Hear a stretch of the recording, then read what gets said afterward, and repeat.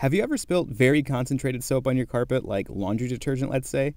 Well, it can be super hard to flush out because of the soapy bubbles and suds. This product is called Defoamer and it does just that. It cuts down on all the bubbles and suds so you can easily flush it out with a carpet cleaning machine or even a shop vac.